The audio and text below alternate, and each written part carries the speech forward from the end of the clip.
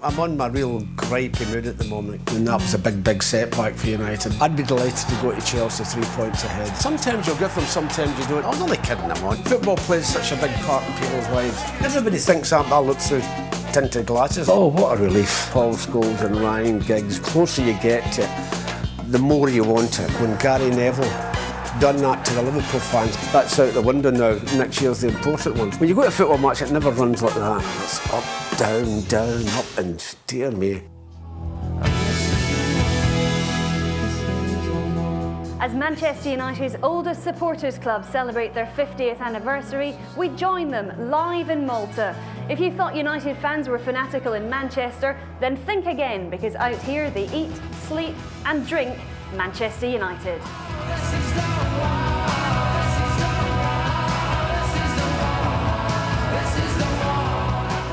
Hello and a very warm welcome to Malta, the Paddy Crerand Show live from Malta. And boy do we have a special show for you over the next couple of hours. We've got a fantastic live studio audience joining us.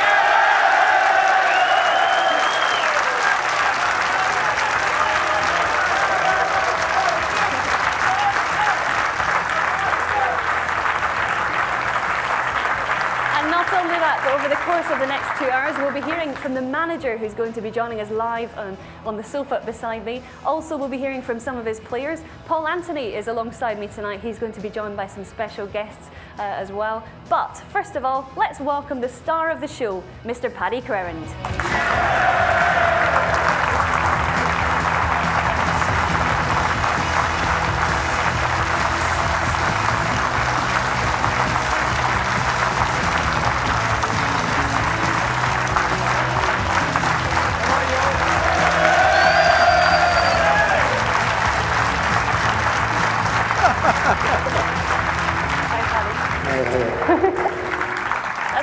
Welcome, isn't it? I've not been sacked, have I? Seems everybody's got the sack nowadays, More on that it? later. More on that later. Thank you for joining us, Paddy. It's nice to have a, a live studio audience for a change, isn't it? All depends on the questions. no, it's nice. It's great to be here, actually. I think you're wonderful people from a wonderful, a wonderful country. You came in late last night, didn't you, just for everybody? Yeah, this morning. This morning. I mean, it was not a very nice journey. Well, it was a great journey. I mean, after the result yesterday, great fun. I, I dreaded coming if United had lost yesterday. I thought, how am I going to go on the plane with the manager? Never going to do that. But I'm, I'm delighted with the result. Superb result, and uh, it's been a fantastic welcome for you, hasn't it? Certainly from the, the studio I, audience I don't here. think you'd expect less because in all the trips we do in Europe with United, I meet many of the fans there that come from to different games all over Europe. They're always there, and particularly at Wembley, they're always there all the time. And then they get you in a bad state afterwards. Maltese hospitality. the most Maltese hospitality. What yeah. did you make of the game yesterday, Paddy? I thought, I, I said it to the managers in, in the plane over, in actual fact, and I hate saying it, but I'm going to say it again. We won the league yesterday. I think we've won the league yesterday. I thought that was a very, very important three points.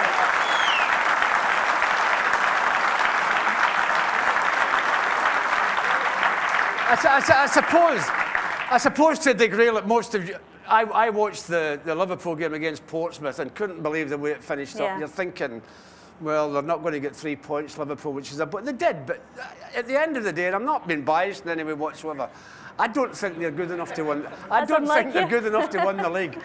I think maybe Chelsea might come back again. I think Chelsea might come back again. You mentioned Chelsea. We must uh, deal with the breaking news that uh, Yeah. Luis Felipe Scolari has been sacked. Well, the funny thing, in football, I mean, Andy's there, you'll have heard. You hear strange stories in football from different sources about things weren't as good as they should be at Chelsea. The players weren't happy. There was problems with different players. And you're thinking, well, maybe it's the manager, and you're not sure whether he believes him or not. Then all of a sudden the manager gets the sack, and they're going to bring someone else, and you think, will it improve? And I think will it Chel- be? uh, well, I think Chelsea have got too many good players not to improve. Not to improve. Who's it going to be? Well, it's not going to be Alex Ferguson anyway, is it? Certainly not. We'll ask him later, shall we? it is interesting though because he's not been there that long, and he's has Ah, he been given a proper chance? football's crazy now. I mean, seven months. I mean, the only, the only good thing about it to a certain degree when you're the manager of maybe a club like that, you get the sack, you get loads of money, and then you get another job a couple of months later. That's the, the crazy thing about football. The problem is when some clubs get rid of their managers, that can galvanise them and, and make them even It can, improve, of course, and then it all depends who comes in, who's going to come in there. That, that's a very good question because I get the impression that after the result on Saturday, I don't know if many of you saw the game, I saw the highlights, and the players were screaming for, or not the players, the, the supporters were screaming for Scolari's blood. And you think when the supporters start that, it gets through to the directors, and the directors begin to worry about the situation. I think that might have been a spur of the moment thing that for to sack Scolari. And I can't for one minute imagine they've got, they've got somebody in mind at this moment in time.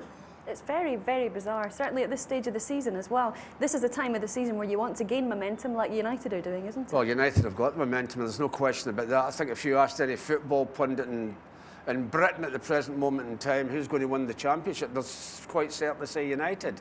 Everything's going for them. I still think United can play better.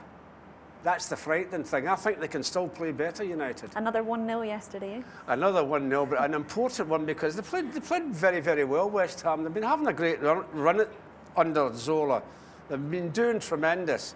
And I think that was a very important victory because I think there was a lot of people, particularly maybe in Liverpool and maybe to a lesser degree Chelsea, were thinking that maybe West Ham would have got a result yesterday. The great thing is that United's next league game against Fulham is their game in hand. So the manager and his players will know exactly where they stand once they've played that I. I, I think the only problem that you would have, and fans have to a certain degree as well, but all these international matches that are on. Mm. I mean, England are playing a game that doesn't mean a damn to anybody. I mean, who cares about the result against Spain? But obviously, the, the, the, manager of Liverpool and the manager of Manchester United will worry about the game because of, of injury problems. And I think United are very fortunate at the moment. Everybody's getting back to fitness at the right time. They're going to have a full squad of players at the right time. And I defy anybody in this room to pick who the best 11 is. I defy anybody to pick who. I bet you if you come in and ask the manager what's his best 11, I bet he wouldn't be able to tell you. That's another question for him later. That's a good question for him later. Some, someone ask him that. What's your best 11? And he'll probably say, I don't know. It's very difficult, but as you say, this is the time of the season where you don't want injuries and everybody's Yeah. coming back at the right time. Hopefully, Wayne Rooney and Wes Brown, the likes of those players, will be back Well, to I, I, I just think that the confidence at Old Trafford at the present moment in time, not just amongst the players, but amongst the fans as well, is sky high. Everybody's up there rather than down there, and everybody's looking at the four trophies we've got to play for, or can we win the four trophies? Very, very difficult. Very, very difficult, I think, to win all the trophies. Then again, it's the injury situation. If you can keep your players fit, well and good, I, just think, looking at United at the present moment in time, I think this is the, best squad of players I've ever seen at Manchester United. That includes the team that won the treble in '99. I think this is the best squad of players. There's so much youth in the team as well as the experienced players, like Gary and Paul and Ryan, who are with us here tonight. Yeah. And it's great for younger players when you've got experienced players around you as well. Okay, that's all from Paddy for the moment. But I did say that Paul Anthony is joining us tonight uh, with some special guests. They'll be changing throughout the course of the evening. We're going to keep you entertained this evening here on MUTV, this special extended Paddy Crerand show live from Malta. Just to bear in mind, actually, we do want to take your emails tonight. No calls tonight. Uh, we've got enough studio audience members here to, to question Paddy and the manager, etc. But if you do want to get your emails in, we will be taking those, so that would be great. The details are on your screen, usual contact details. But for now, let's cross over to Paul Anthony. Yeah, thanks, Mandy. Yes, as you said, I'm joined by Andy Ritchie, who's been with us for uh, more than, well, a bit longer than Paddy anyway, Paddy arriving last night. But Andy, since we've been here, and as you saw from the reception that Paddy got there, the tremendous people, tremendous Manchester United fanatics over here. It's, uh, it's amazing to behold, really. Um, they've, uh, they've been fantastic to us, looked after us. Uh, we've done uh, quite a few little bits and bats, but it's been very enjoyable. And uh, I'm just uh, really pleased to be here and uh, be on the show with Paddy. Yeah, it, that, even that for us is an honour, isn't it? Never mind Well, for anybody exactly. else. Um, let's talk more about that later, but the breaking news, as Mandy's already said, uh, Luis Felipe Scolari has now left. What's your view? um, well, I just found out as we were leaving the, the hotel. Uh, Paddy was, uh, was in the, the foyer, he told me. I just couldn't believe it. Um, it just seems as though football's going crazy at the moment. And as Paddy said, you know, the, the fans are, you know, probably paid for his blood, blood a little bit. And it, it's a bit of a knee-jerk reaction for me that there has been uh, stories about him falling out with Drogba and, uh, and Ballack wasn't too happy and some of the other players. So it's not a total um, uh, sort of shock, but it, it, after seven months, it's, it, you just don't get any chance Well, it's these not, days. that's not his team, is it? Uh, Well, it maybe some of them are in there, but he's not put his, his, his stamp on the team. Well, he's not had a chance to. Um, and, uh, you know, there are good players there. They're the top international players. And it, it is his job to get them to gel together and play, play well together. But I think, that, you know, they, they seem to be off the pace at the minute. Um, I agree with Paddy, they might just come back because when you, you, you do have that, uh, that sort of uh, infrastructure and someone goes, then I think that when a new manager comes in, the players want to impress. They're there, they're, they're up and at it again, and that can sometimes bring the best out of them, and they might just get some good results together. And as far as that goes, you talk about a, pla a manager leaving and it might galvanise a team. But what uh, somebody like the likes of Deco, who he brought in, how's it going to affect him? Well, it can affect him one or two ways. He can be very uh, uh, upset about it and, and moody, or he can just, you know, get on with things and think, well, you know, I, I want to play for Chelsea. I want to do my do my job. I want to be. Uh, I'm paid well for it. Let's get on with it. And that's really the way he should look at it. But whether he will, we don't know. OK, well, a little bit later on, we'll talk about yesterday's game and United's title challenge. Let's go back to Mandy. Thanks very much, Paul. And time now uh, to speak to some of the audience members. I think we have a question for you, Paddy. Who's first in the audience? Uh, hi. Uh, my name my name is uh, Edward Villa. I live in the UK. Um, came here especially to to meet you, Mr. Paddy. Paddy Crerand. Yeah. And all I want to say is now that we won the World Club Trophy and we have a great chance of winning the Premier League, what are the chances of winning the, for the second time running, the Champions League Cup? Uh, but- Nobody's ever won the Champions League Cup twice. And it's a challenge to Manchester United. I think their biggest threat will be Barcelona. Yeah. I'm not so yeah. sure about the Uh, Italian clubs. I think Barcelona will be the big threat to Manchester United. But I think they've got a squad of players, United, as I said earlier on, that have better than the 1999, 1999 squad of as well, players. yeah. And I think they've got a great chance. If they can steer clear of injury and don't get a lot of injuries, there's, there's no reason why they can't win the lot. It sounds crazy that, but injuries is the big problem. It would be an incredible achievement, wouldn't it? Oh, it'd be an incredible achievement, but when you're at a club like Manchester United, you expect incredible achievements. I mean, We that's hope the so. way- We hope so. We want to win the lot, actually. Of course, of course. I mean, we that's- win the final.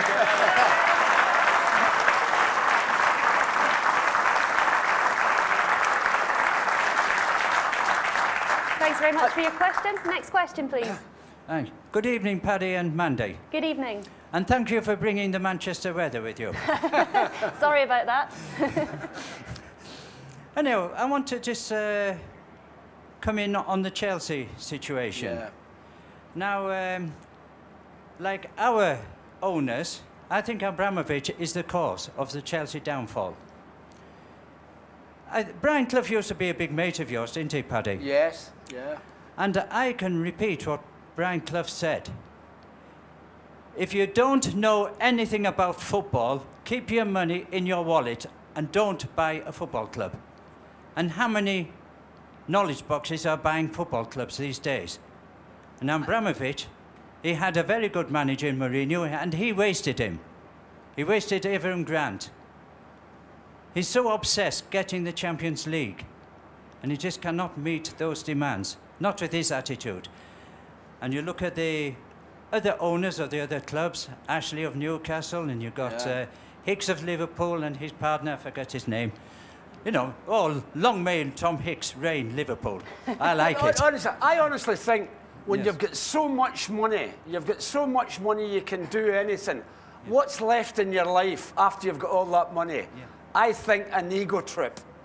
I think an ego trip is what's left for most of them. Yeah. They want to see their photograph in the paper, they want to be splashed all over different things. I, I think that can happen in football. I think one of the big problems at Chelsea might be Mr. Kenyon. Not Oh, anybody yes, else. yes. Could be him. I, I, th- I think it could be Peter Kenyon. I mean, Peter- Peter Kenyon was the one that went to Chelsea and said in 10 years' time we're going to take over the world. The words to that effect. And now he's had how many managers? Three? In a short space of time. Well, Peter Kenyon re- stated last year when he got rid of Grant, second best is not good enough. If second best is not good enough for him, why did he leave Manchester United? Exactly. I mean,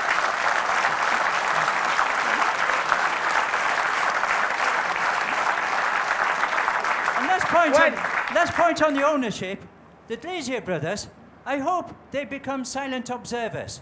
well, that's exactly what they are at the moment as Great. silent observers. The I manager can they do what read he that likes. Autobiography of Brian Clough. I'll tell you something. Full of words and wisdom, that book. It's like talking to my wife. I can't get a bloody word in.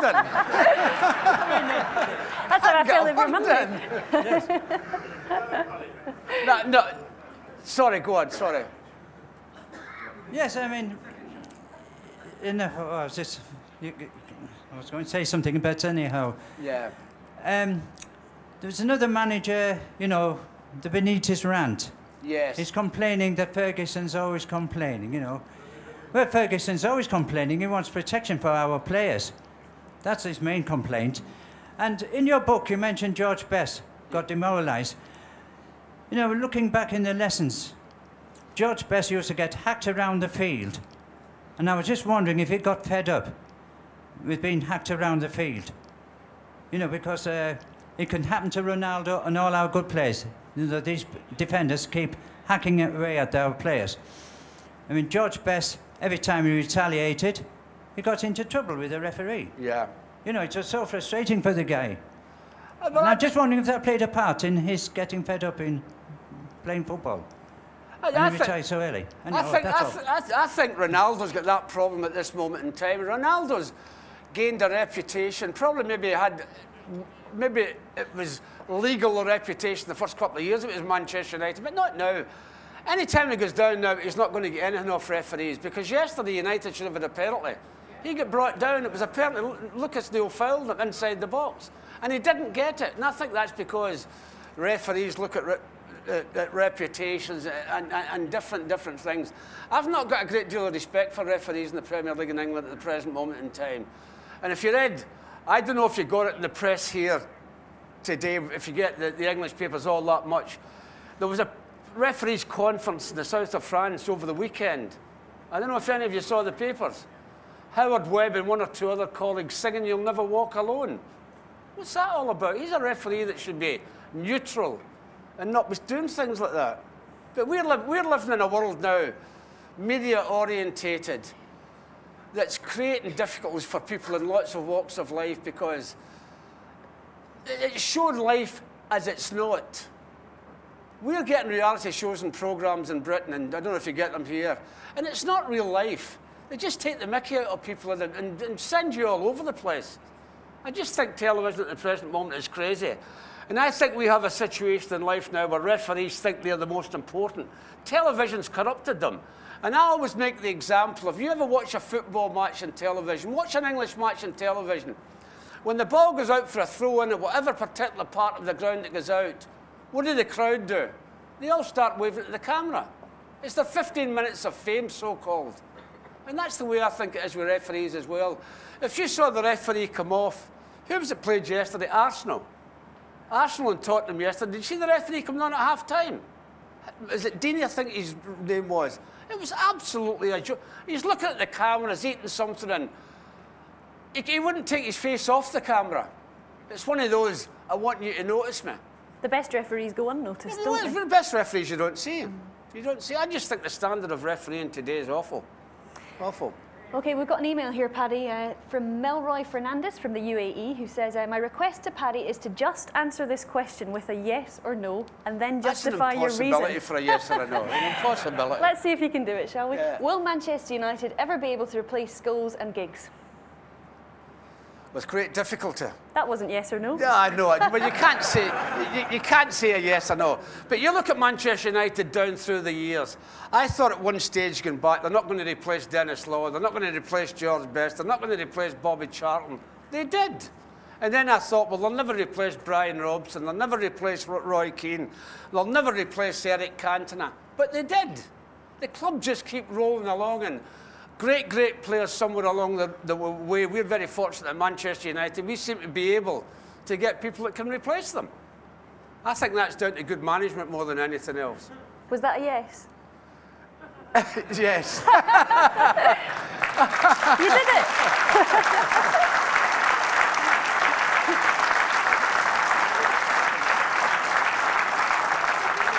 Thanks very much for the emails. Make sure you keep them coming in. But for now, we'll go back to the studio audience and another question, please. Um, what do you think is the most important player, position, or role at the moment at Manchester United or over the years? you talk about the best player. Or position or role at the moment? Position or role? The players have to play. I'm not. Which the most important position or role at the Oh, the most important position. I think they're all equally important. I would probably think if you were asking me what was the most important position in a football team, I think the goalkeeper. Because the goalkeeper can always get you a no-score draw. Goalkeeper's not doing badly just now, is he? I think the goalkeeper's doing fantastic at the moment. The manager has repeated it and said if he'd have got him maybe five or six years ago, maybe they'd have, they'd have won a lot more things. He's just a tremendous goalkeeper with a great deal of experience, and I hope he plays for another couple of years. Okay, thanks very much for the question. We've got an email here. Paddy, I think Mandy could do a better job than Luis Felipe Scolari did at Chelsea from Roger in Manchester. Well, th- th- th- I agree. Well, that gentleman up there that asked that question earlier on was f- on for a little bit. He started off by saying, Good evening, Paddy, and good evening, Mandy. Now, that has never happened in Manchester. It's always good evening, Mandy and good evening. I've never been first. They've got their priorities right in Malta, No, they haven't. No, no, no, no. Sorry, what were you saying then? I forgot. I could do a better job than Scolari, apparently. I wouldn't like to go up against Sir Alex, though. I, was I, I, I spoke to the manager today, in actual fact, about Peter Kenyon and, and Scolari. Uh, When the sacking happened, was Peter Kenyon there? Because I'd, I'd love to have been in that room when he went up to Scolari and said, You're sacked. Because he's got a little bit of a bad temper, Scolari, I believe, and it would be interesting if Peter Kenyon is still in one piece. Favourite to replace him, Gus Hiddink, apparently. Oh, she came up with a great idea, I thought spot on, Gus Hiddink. Uh, It's well done, Mandy. She, That's what I said, she, me. cat's mother. Pardon? Is that the cat's mother? No, no, this lovely lady here said Gus Hiddink, which I think is a great shout because he's the manager of the Russian national side. Could be a good shout, that. We shall see. Okay, time for us to take a short break. There'll be more questions from the audience, plus more review emails, and of course more from Paddy as well after this short break. The important one. When you go to a football match, it never runs like that. It's up, down, down, up, and dear me.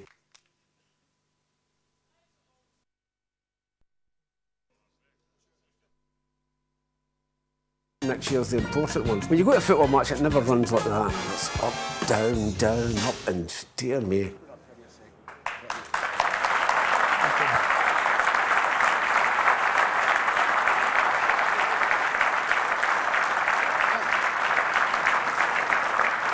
Welcome back the Paddy Crerand Show live in Malta for you this evening. Make sure you stay tuned for the next couple of hours because we've got the manager and some of his players joining us as well as René Meulensteen, the first team coach. So should be good, shouldn't it? Oh, it'd be great. I mean, some, I, I would love to tell the audience what to ask the manager, but I'm not going to. Uh, there's some question.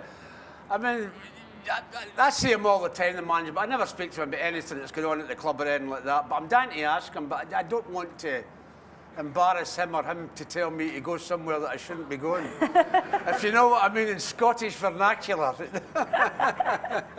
Yes, indeed. Should be uh, interesting to hear what the manager's got to say. Uh, but for now, we'll go over to Paul, um, who's joined by some different guests tonight, Paul. Yes, indeed, we are. Very good evening to you. I am joined by, by some very special guests, friends of Paddy's from a, a long, long time ago. Sitting next to me, a couple of Hibernian players that played for Hibernian and Malta when they took on Manchester United on the way to United winning the European Cup. Sat next to me is Eddie, Eddie Theobald, who was the captain at the time. You've got fond memories of that game? Yes, of course, yeah. I remember uh, the result. Uh, it was very nice for us. The result, no score. Incredible result. But at um, Old Trafford, we lost 4 0. It wasn't, Yeah. uh, it wasn't a bad result for us, you know, because 4 0, it's, uh, it's quite. Uh, Well, well, well, to think, Eddie, that the European champions drew no score with you. Pardon? We, won, we finished up winning the European Cup. yeah, I We- we- yeah, we drew no 68. I was there. Uh, I watched you there too. I, I, I think maybe Father Hillary used divine intervention for that, did he? What, were you, what are your memories of this guy when you were playing? well, that game? um, I play against him, you know, um, and I, uh, I changed the shirt with him. yeah? Yeah, but I gave it to charity. Let me ask you. but I still got I, I still got some photos of it, you know. But Uh, yeah. it's, it's nice to give it to charity, you know, for uh, Of course. for the poor people. I mean, for poor kids. I, I remember I'd never been in Malta before. I'd never been in Malta before. That was the first time I think any of us had ever been in Malta. And And we couldn't believe the reception we got. We arrived at the airport and there was literally thousands of people there that just Mm. followed the, the team coach in a convoy all the way back to the.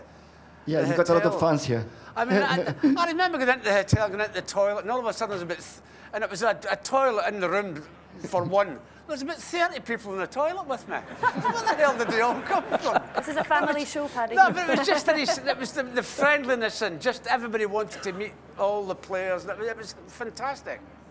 Yeah. The guy that sat a little further along from you is, is Freddie, Freddie Dealey. What, what are your thoughts of, of that game, Freddie? What do you remem- remember? I remember in uh, 67, 68. Uh, you first started with us playing against Hibs, Yeah, and then you finished we, winning the European Cup. yeah. Against Benfica. huh? It was Um, uh, fantastic. and it, it was a good season for you. You played well, and you uh, deserved it. You know. But, but it was great for to come to Malta and, and draw no scores. It was a great result as well to think, oh, we played against the European champions. Because we're living in Manchester at the present moment in time, and United won the league and the European Cup last year. I've got loads of friends that are Manchester City fans, and they all say that really they're the European champions because they beat us twice last year. So it works out that way some sometime. But that was a great result anyway, the no score. But what I remember about the game was the pitch. Yeah, the pitch. Oh dear. it, was, it was just rock. It I was know the just pitch rock. was against you. Yes, yes. Ah, no, the pitch. We, we both had to try and play on it. It was a great experience. Did you, did you learn from playing against players like this? Yes, of course. Show me your marks then. Show me marks you've got. and I remember too, when um, after you came for the banquet, you know, at the Millionaire Uh, at Tarxien. You remember that? I do remember it very well. It was a very nice party, yeah. I was, this is totally true. I was telling the manager today, we went for a walk down through the, the town. Myself and Alex Stepney at the banquet that night, they had a menu of, of they had a wine listing actually, and we were partial to a little drop of wine. And I remember looking at the prices of all the wines, and it was about 152 quid, which was quite expensive in those days for the wine. But at the bottom, Farmer's Red, three and sixpence. Wheel of that. three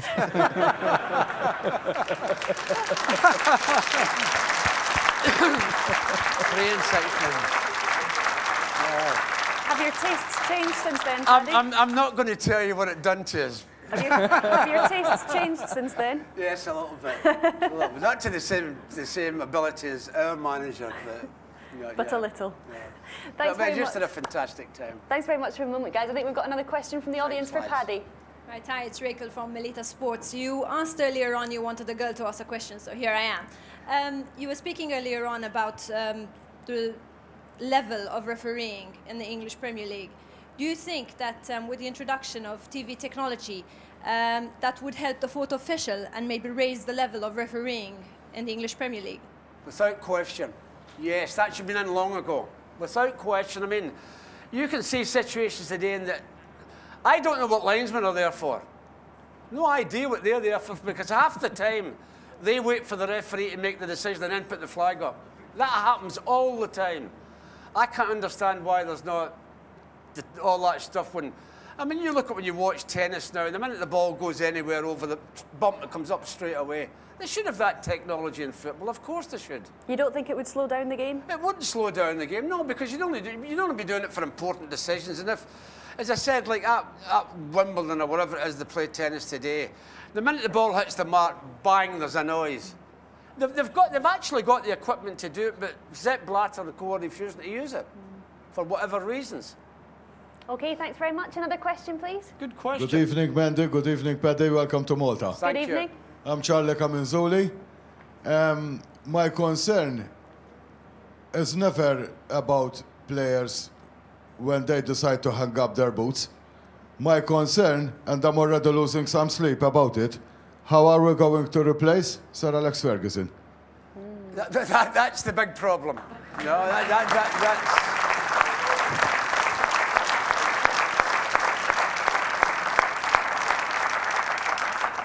Can perhaps ask the manager. I, I think that's a very serious problem because when managers do come into football clubs, they're judged on the success of the club.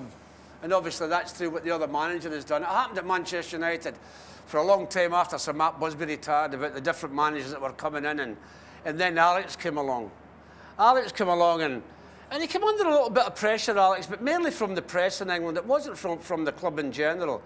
And you can ask the manager tonight, because I remember the press were giving him a hard time of it. And he went to Sir Matt Busby and he says to Sir Matt Busby, I'm getting a hard time uh, out of it off the press and, and it's affecting me to a great degree. And Matt just looked at him and says, well, don't read it then. Don't read them. I mean, I am, the programmes I do, if you watch, I rant about the media all the time because I'm a great believer if they get the date right, that's the closest they're ever going to get to the truth. yeah, because, I mean, I don't, I don't believe the front of the, the, the, the, English papers anymore because I know the back, the, the back pages are not totally true. Not totally true. It must be frustrating for the manager, though, mustn't oh, it? Every I mean, day. I mean, I, I, spoke to him today and as we were walking down. He, he talked about all different little things. I said, Do you have a press conference every Friday at, uh, at Manchester United before the game on the Saturday. I says, you've got all these press guys in, and some of them have been giving you dogs abuse in the press. And they ask you a question. What would I do if, not, if, if, I was in that position? What would you do if you were in that position? I would never like go at the fella. yeah, I, I, would never go at him. And but they've got that brass neck to come in and then ask a question afterwards. I just wonder sometimes. But then again, they're under pressure from their editors and so on and so forth. And that's why I think sometimes stories get made up to a terrible degree. I'm going to be fortunate. I think I'm going to be probably watching Manchester United as long as the manager's the manager of Manchester United. So maybe I'll be lucky in that aspect because I don't, I don't see the manager leaving for quite some time. Not when you look at the younger players that are coming through the. When you look at the young kid yesterday, Da Silva, at, at the game at West Ham, and you look at the younger players that are there, he's not going to walk away and leave that. He's too committed anyway. He's, he's a. He was kidding me on about age today, and, and he's 67, I think it is, 67, going on about 21. mentally, he's 21. You can ask him that. I think mentally he's 21. We've got all sorts of questions for the manager, haven't we? It should be an interesting chat. Thanks very much for the questions from the audience. We've got an email here from John who says, Paddy, uh, can we cope without Vidic in Milan and will Evans be fit and ready John for Evans the challenge? John Evans is a terrific player. John Evans is a marvellous player. I think, as I said, United are lucky they've got that big squad of players. You get Johnny Evans. He's a is he 20? I think so, yes. 20, 20. Mm. head screwed on totally the right way. Magnificent player and going to get better and better. I would think there's a situation probably in maybe a couple of years' time where you'll find the two central defenders thinking, I've got to play well and I'm, I'm going to have a problem. I think he's that good, Johnny Evans. He's very level-headed because you don't even notice Comes that Rio very, Ferdinand was out. His family lived very close to me, actually, in actual fact. I don't think that's a good decision on the family's part to live close to me. But I but do as well. Are, thank you very much. They're a very sensible family. Very, very sensible family.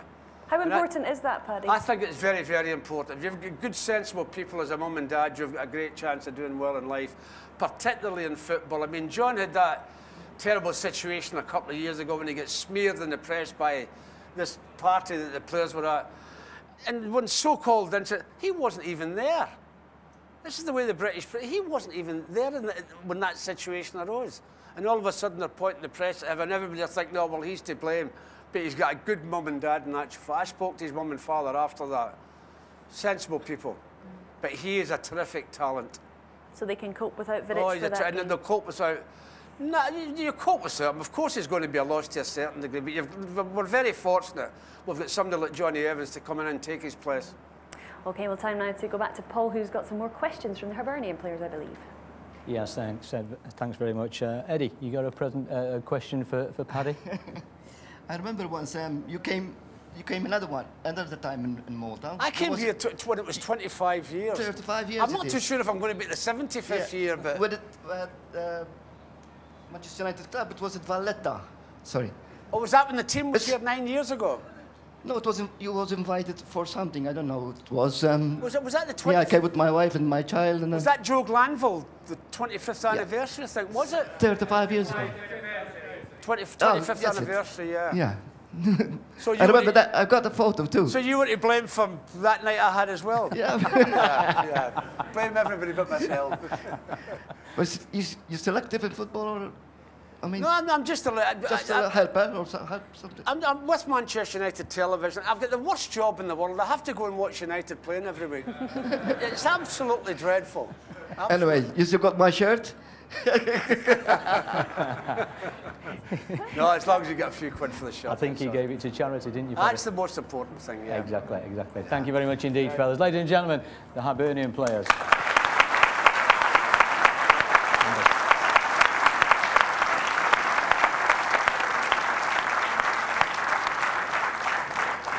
Thanks very much, Paul. I think we'll go back to another member of the audience for another question. Hi. Uh, hello, Paddy. And How are hello. you?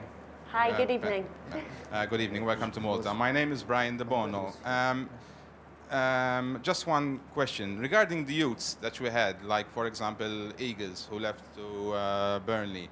Um, what do you think is the reason for this? Is it a matter of um, they're not the same level of how the Beckhams and the Nevilles were, or what's? No, what's no, I, I think what happens at Manchester United, you get players that are there on the fringe of the first team. Then you get players coming in at the bottom level.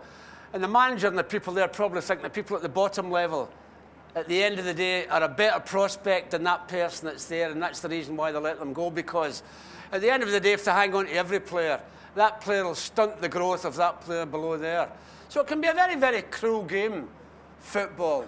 I mean, you're talking about Chris Eagles. It seems to me like two minutes ago when I saw him score the fourth goal at Everton that made it, made that we won the championship. And all of a sudden he's at Burnley. I think sometimes it's for the betterment, of the player. If he's not going to make the first team at Manchester United, he'll, he'll obviously make it somewhere else. But I think the main reason you can't stop the people down below coming up. They're the, they're the next generation, and they obviously could be better than the ones that have left. That's the reason for that. Must be a hard decision for the manager. Thanks. Brian. It's a very hard decision to let players go. It is very hard, particularly if you've been at your football club when they're, well, they, they go to football clubs now 8, 9, 10, 11, 12, 13 years of age. I don't agree with the 8, 9, 10, 11 and 12 going to football club. I think that's not good for them. Hmm. But every club does it, so they all think they have to get in the act.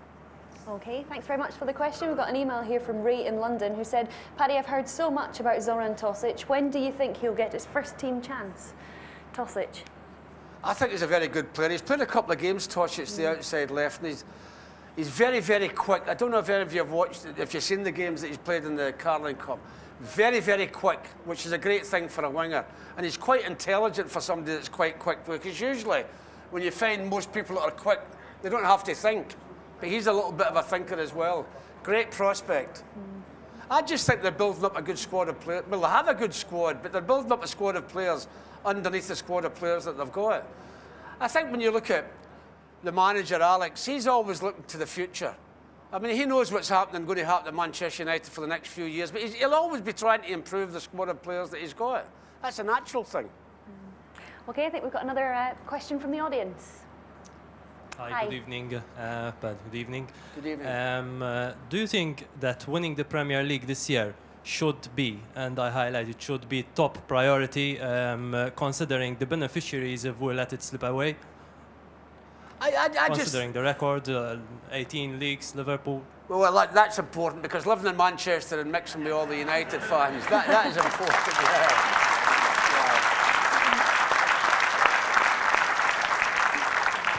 That's important for the fans at the present moment. They want to compete with Liverpool and they want to beat Liverpool for the record for the league and for the European Cup. But I must tell you about Liverpool in actual fact. When I was playing at Manchester United, Matt Busby, God bless him, was the manager of United. Bill Shankly, God bless him, was the manager of Liverpool. You never seen a more friendlier two clubs in your life between the manager, the players, and the fans. Honest to God, you wouldn't believe it. You'd go to Anfield when United were playing Liverpool, you get United fans in the Kop. I think the 70s and 80s, it's totally changed. It's totally changed. And I find it a bit difficult sometimes because you're, you're talking about two working class cities that are not more than 30 miles apart, and the hatred is dreadful. It's absolutely dreadful. I mean, it's all right wanting to compete with somebody and wanting to beat someone, but not with the hatred that's there. The hatred is bad and it's dreadful, and it's on both sides. It's dreadful. But as I say, most United fans getting back from that, most United fans, they would love to win everything, but they would want to compete with Liverpool in the Championships and the European Cups. I think United will win the league this year. I think they'll win the league this year, so they'll be level. The European Cup's going to be the more difficult. Going to be the more difficult. Okay, thanks very much for the question. Thanks to Paddy for the moment. Time for us to take another short break. We'll be back with you in a couple of minutes.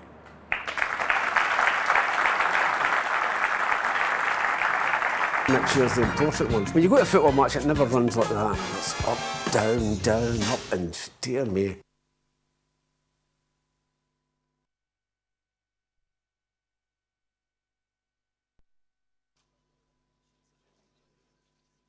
Next year's the important one. When you go to a football match, it never runs like that. It's up, down, down, up, and dear me.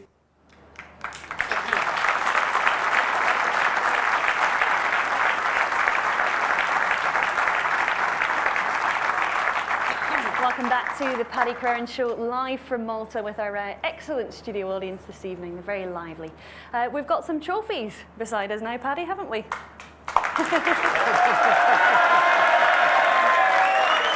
the trophies get a clap this evening.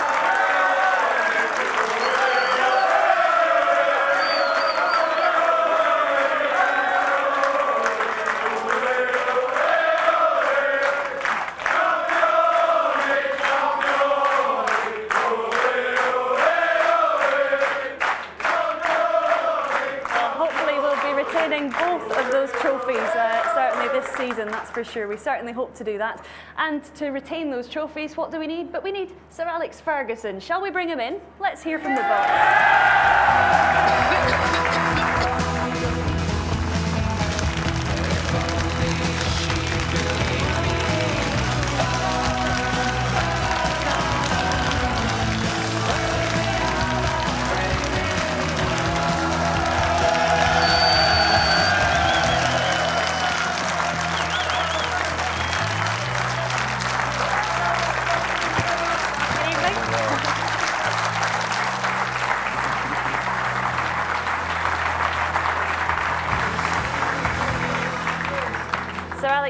Much for joining us this evening. Uh, great studio audience, aren't they? Yeah, very good, very good.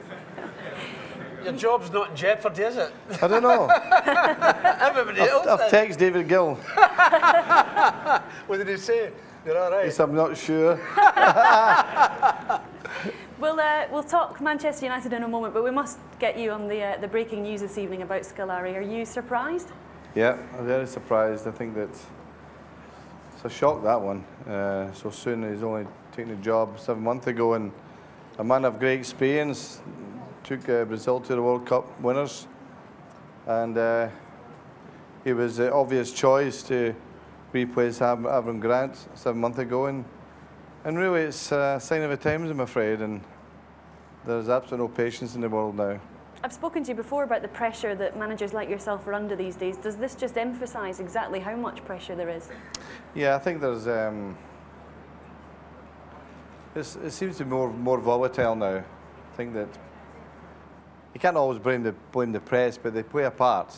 The Big part. the way the tabloid journalism is, is today, they're competing against the internet, they're competing against Sky News, and uh, so therefore there's a sensationalism every time someone has a bad result. You know, we've all sub- been subjected to that over the years. You yourself know that managers need time not only to build squads, but to get success as well. Absolutely, you don't do overnight. I think that obviously that I think that the Chelsea job was um, having lost the European Cup, and there was still great expectation of going to do well this year. Uh, and the, really, it's only the last, well, maybe the last month that they've had a bad spell. So the judgment really is on the last month rather than the previous six months, I feel. So it is a surprise. Enough on. Sorry, So- so Paddy. do, do, do you not think sometimes that the press, like the big forties more or less, they want them to do badly so they can have a go at people. They want England to do badly so they can go, have a go at somebody. Do you not think that sometimes along the way that th- they prefer it that way? Sells papers. Yeah, there's a there's a feeling of that in England uh, that um, there's a sort of a death wish in the England team, particularly. You know, but it's sad anyway. Enough on Chelsea anyway. You must be delighted with the result yesterday. Yeah, I looked upon that as a, probably the hardest away game we've got in the running because historically, as you know, West Ham have robbed us two titles in the past. It's not an easy place to go to, plus the fact they're playing their best football of the season at the moment. They've gone eight games without defeat, and uh, they only lost three goals in the last uh, six games there was. So we got them a really a, a, a great moment for them with their confidence and form. So it was obviously going to be a big task for us to get a result there. And fairness to the players, they delivered. What did, the, what did the players think? Obviously, they must have watched the match, the Portsmouth and Liverpool game. Did they watch the game or did Yeah, they what they. Uh, that, that kind of a slight effect somewhere along the way? Could it not have been a bit of pressure on for the game against West Ham? didn't see me. I think they were all sort of a. That can, it can go either way. You can be up for it and think, well, we've, we've got to win this game. Yeah. I think there's enough experience Yeah. to handle that. I think they've experienced it before, and I always remember um, when we won our first title. Man City went to Villa the week before the end of the season, and, and I watched the game, and Villa win one at half. Uh, City winning one at half time. Yeah. And you get your hopes up, and then they capitulated in the second half, and Villa win comfortably. I said, I'm not watching it again, you know. So you can get yourself all twisted for no reason do, at all. yeah. The players were quite calm about it, and they showed it when they get the day. They didn't lose their composure, they didn't lose their nerve to play, and, and I think it was a good performance. We had a question earlier about uh, Scholes and Giggs and how you go about replacing them. But what exactly are you feeding Ryan Giggs right now? Because he's not playing badly, is he? I'm going to try it myself. but in the case of Ryan Giggs, I think that his, his actually his performance level is, is not diminished anyway. It's even maybe in some ways added to, to his game in terms of experience and composure he, uh, he has now. And he's so fit. He is so fit. His training times in summer were sensational. And it's credit to the boy. And uh, Scholes and Gary, who have not the work of Ryan in terms of what you call long-term injuries. Scholes has had a few injuries over the years, but keeps coming back. And Gary had that long-term injury out for a year and a half, which is admirable the way he has come back. And I think he is back to stay. I think, he, you know, what we're seeing now is, is he's come back with more experience and watched the team for a, a year and a half. So we're very, very lucky. Oh, fantastic individual goal from Giggsy yesterday. It was superb to Yeah. watch. But uh, thank you for giving us your time, Sir Alex. We do have a, a lively studio audience this evening who are waiting to pose some questions to you. I think we can hear from Kevin. Good evening, everyone. Good evening. Um, boss, we have already asked you several questions at this morning's news conference, so we have to come up with some new ones so you don't get bored, and at least you get a good impression of the Maltese journalists. Um, you talked about the forthcoming Inter games in the Champions League, and you described them as a very experienced team, and you mentioned their South American players. But do you consider Ibrahimovic as the biggest threat to Manchester United's chances of progressing to the quarterfinals? I think that um, we've got the hardest draw in terms of the, the physical part. They're a very strong, powerful team, Inter Milan. Uh, and I, I believe their pitch is not so good now. It's breaking up in parts. So that presents a sort of a different type of problem for us. But we've been there before. We've been to the stadium a few times now. We shouldn't have a problem in temperament. We shouldn't have a problem in experience-wise. And uh, I think if we, if we can get the away goal, then we'll have a marvellous chance of getting through. Is this the time of the season that you really start to enjoy? Your face well, says it I, all. I think that um, I think we're at that time of the season we expect the players to kick on now. I think I've seen over the years. Now we're not always excelled in the last part of the season. Sometimes we've lost leagues, you know, in the running, but in the most cases the players do it, tend to respond. And the, the present group we've got seem to have a gear that you know it can bring out.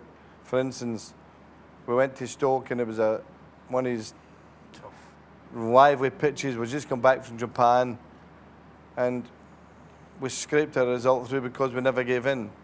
We ended up with Ryan Giggs, the left back, because we wanted to win the match. It was an important market way down, hav- having come back from Japan, we needed to win that game. Once we win that game, I think we've just gone on. There's a- there's a- I was asking the audience to ask you a question. What's your best team? I don't know. I I said that. That's exactly what I said.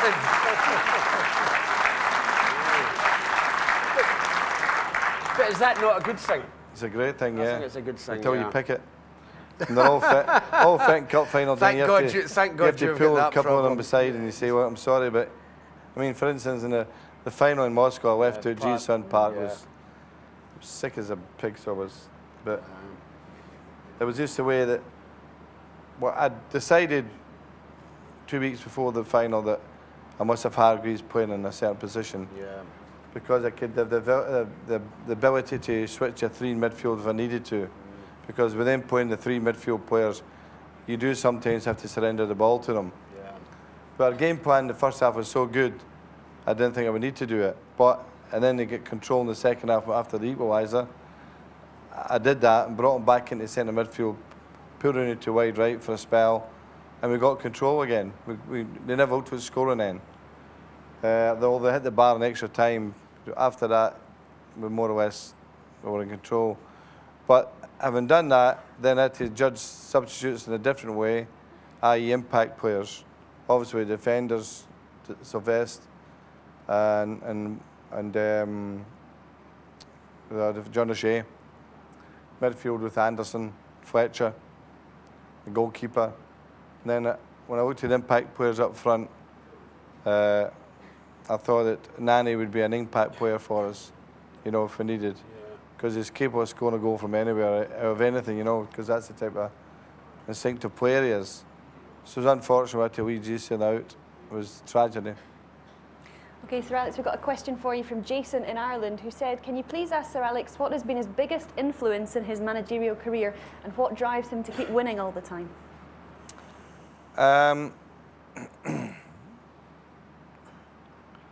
I didn't have any great early influences in management. I made my mind up at 24 I was going to be a manager. I went for my coaching badges and my full badge was 24 and I kept going to coaching classes, coaching schools every summer. Sometimes to, went down to Lilleshall once, went to Germany once and I went to Largs every year. And it was great because in these days, all the managers in Scotland used to go to it. But, but I think when I became assistant to Jock Stein, I, I- think I, I probably uh, met them, a man who I could learn most from. He's a very clever man, and he, he had this great ability of knowing everything about what's happening in the game. He maybe phoned me on a Friday night, and I'd maybe made a bid for a player or something. I, I was interested in a player, and I say, "What's going on?" And you had to tell him because he probably knew anyway. so I said, well, I've made a bid for Billy Stark. It's 170,000. He said, that's a good buy. That'd be a good buy. He probably knew anyway, so I had to tell him everything.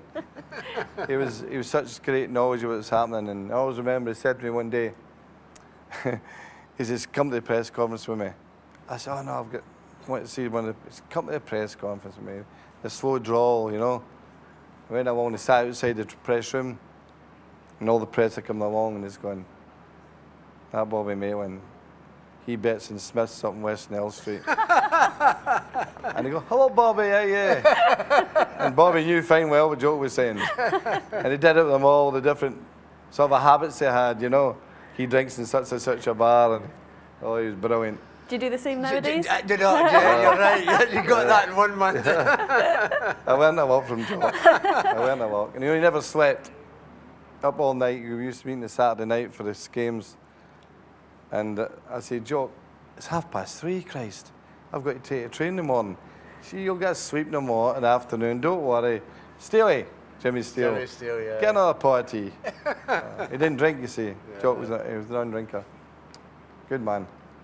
Excellent. I think we've got uh, another email here who's from uh, Stephen in Malta who says, Hi, Sir Alex. My question is Can I put the champagne in the fridge? When, sorry, can I put the champagne in the fridge? In May or at the end of April?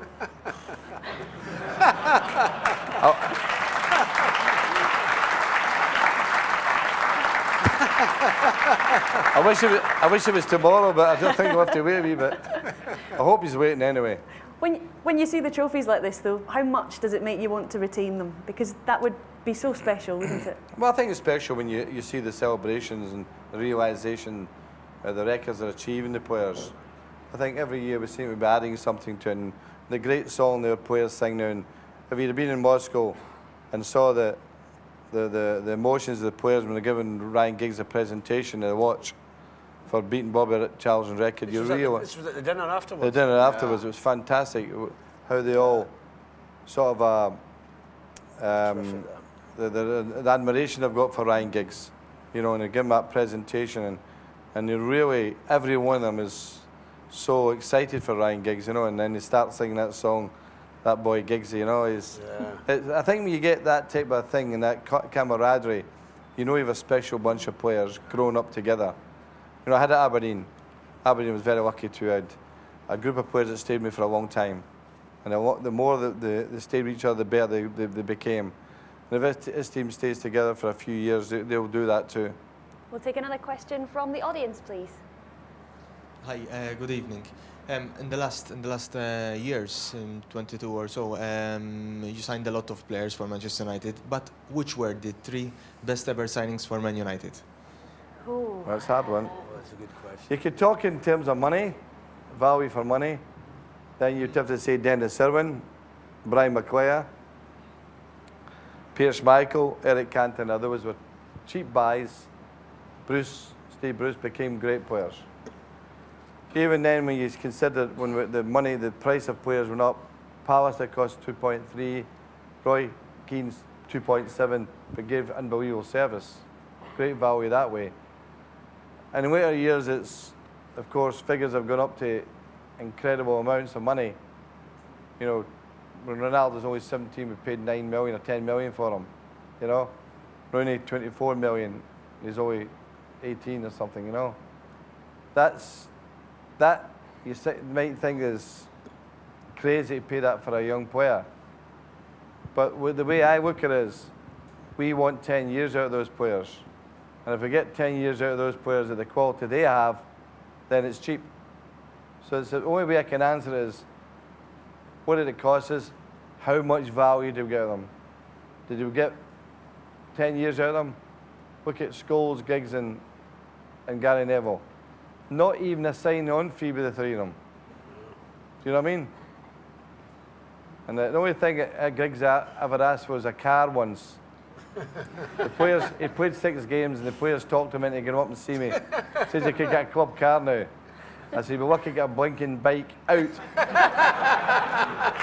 so we get set up.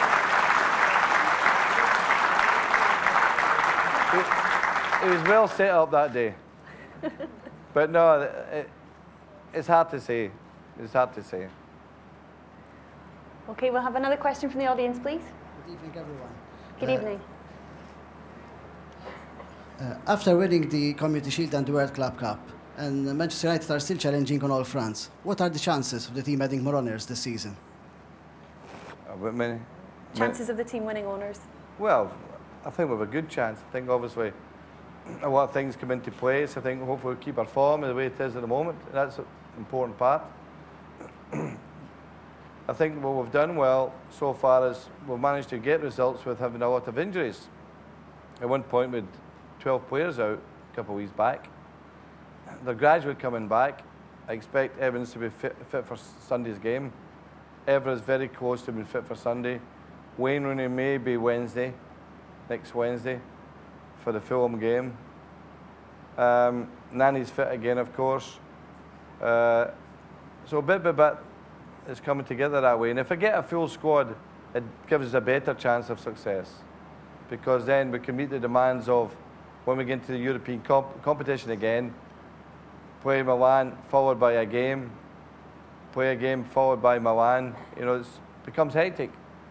Combining FA Cup, the League Cup final, of course, and the European and the Premier League.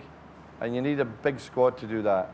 And also, which is very, even more important, it makes, we have to make sure we pick the right team each time. You know, you can't make mistakes. But I think we have a good chance. That's excellent, Sir Alex. It's only Monday, and we always say we bring you the team news first on MUTV, so we've got it quite early this week, haven't we? Very good.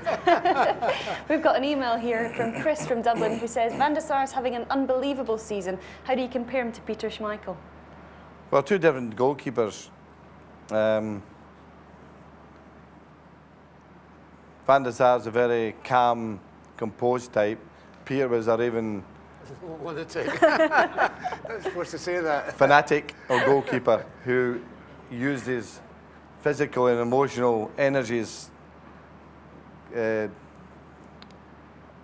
haranguing players and I mean Bruce and Palace would get terrible time off him you know and it was it was fantastic to see that that he would come out and give them a real bollocking and and they would go, they would turn and say get back in your goal you big so and he's- the what they didn't like him called him German get back in go, you German he didn't like that one but there were two, two. You can't. It's once again, it's very difficult. I mean, Schmeichel produced saves out of this world, and his physical presence was so un, so huge in major games that you know. he- but we never thought we'd get a goalkeeper that could anywhere approach Schmeichel. Nowhere anywhere near, near it. I never thought. Now and then with Van der Sar, we've seen a different type of goalkeeping, a technician, one with great concentration, composure, calming everyone round about him. You know, he never looks under pressure. You know, so that's it. Two different ends of the spectrum, really. So you're telling me you've actually met a goalkeeper that's sensible? Yeah. I- I'm, I'm, I'm looking at Jack Crompton when I say that. Jack's just come in and sat down there. I've never met a goalkeeper yet that was sensible. No, a good one. yeah, well, it's, but he is a very, very calm lad, you know. He Helps he's defend looked after himself also. I mean, he's 38 now, you know, and he's, he's fit as a fiddle, you know. He's fabulous. Sir Alex, that good goalkeepers are barmy. Yes. Um, I'm quite happy either way. I'm either barmy and a good goalkeeper or a sane gentleman. either way we do. We have a bit of both then, Jack. Uh, a little. the, um, those two, the two goalkeepers are fantastic. They Yeah, are, they aren't yeah. And uh, you need somebody like Schmeichel in particular in any side. Yeah. Uh, I would. He's always been my number one goalkeeper. And uh, when you start there, as you well know, you you're in with a chance. Oh, yes, When I was definitely. at Luton, I used to look at Ron Baynham and think, I'm in with a chance of a point anyway. You know, when I, s- Yeah. when I saw Ron come into the room, it was great. Jack, we're, we're old enough to remember Ron Baynham. I'm not too sure about the rest of the people in here. We are. Terrific goalkeeper he was at Harvard. Right. Yeah. Okay, Jack, thanks very much. Uh, Sir Alex, we've got uh, an email. Sorry. got an interesting email here from Gary in Ireland who says, How did you decide on the penalty takers for the Champions League final and did it influence your substitutions on the night? Um, well, obviously, in the last minute, we thought we'd take Wes off and try and get a fresh player on. And someone with the confidence to take a penalty kick. You know, there's one thing uh, picking penalty takers and by just saying you do it. But you've got to pick someone your confidence really doesn't bother him if he misses. It doesn't kill him. You know what I mean? And Anderson, of course, he's got Brazilian confidence. He'd take a penalty kick in front of three million people. You know, and he was so confident. Ah, he was wanting to be number one to take the penalties and things like that. then the game, he's, he's, he's got that great exuberance. So I thought that make that substitution interesting. When we lost the penalty shootout to Arsenal, the referee blew a minute before the end of the game. You know that Really? the final when he sent off um, the Arsenal player, um, Spanish lad. What's his name? Oh, no Fabregas. No. Reyes. Reyes. Reyes. I was going to make. I was going to put Tim Howard in goal, take Carroll out, because Tim Howard's better than seven penalty kicks. And the referee caught me on the off, and Howard was doing the warm up, and he blew a minute before time. So just sod's law, isn't it? I think we may have won it. These watches are great you've got, aren't they? I know. no, that day. We'll take another question from the audience, please. Yes, good evening. Speaking of honours again, uh, there's a great chance of winning the lot. First in the league, final in the League Cup, the FA Cup still there, even in the Champions League. But you have to pick one. Is there a priority? One cup, which you want to win? European Cup. Most, most of the audience actually wanted to, to, to draw out the Liverpool. Yeah, I think there's a, an opportunity to maybe grow, draw, draw level with Liverpool, but that's not my. I think that when you look at our record in Europe, it should have been better. You know, we've won it, and nobody's won, nobody's defended the Champions League since the new format. So that's a great challenge to us, and uh, you know, hopefully we can do it again. Okay, thanks for the question. We've got an email, Sir Alex, from Mark who said, I watch the academy whenever I can and I see players with a lot of first team potential. With the relatively young squad you've got, how difficult is it to balance giving young players a chance and playing the established players? Well, that's something we've, we've always paid attention to. I think that there's an obvious thing happens with young players. They tell you more than you need to make decisions on. The, their performances have, them, have you looking at them differently. And then we try to get them into the first team squad immediately and see how they're doing the training. We do do that all. At the moment, Macheda now trains with the first team, you see. And uh, and uh, Welbeck, of course, he made the transition. Once the team was knocked out of the European, the, the FA Youth Cup, he joined the first team. So that more or less is the, the, the, the way we do it.